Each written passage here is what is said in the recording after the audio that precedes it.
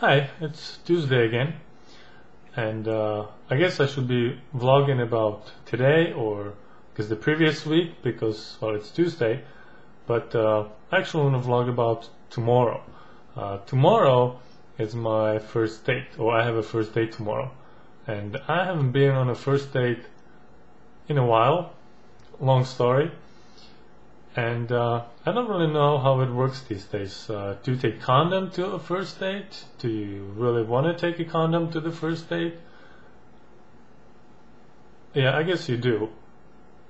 Now, what flavor do you get? Do you get strawberry? Do you get, I don't know, uh, whatever berry is out there? It's been a while since I've been on a first date, so I don't really know what the flavors are.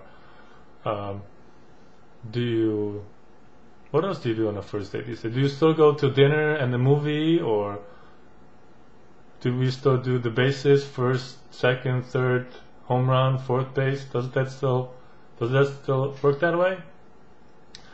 I have no idea. I wonder what she's thinking. She's gonna is he gonna bring condom? Do I bring a condom? Do I want to have sex? Oops, I guess I shouldn't say sex, but well, I guess if I'm speaking about condoms, well then that's uh, given. Um, yeah, how does that really work? I mean, she's awesome and everything, but it's a first date, you know, it's pretty much blind date. I, I, actually, it's not a blind date. It's a, it's I guess blind date is when you never seen the person, and this is I guess sort of first uh, mute date or deaf date mute slash deaf date since we never really spoke. I know what she looks like, but we never spoke. So I guess it's not a blind date, it's a mute slash deaf date.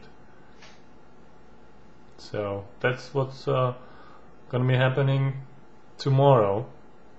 So I'm pretty excited. I'll have to think about those flavors overnight.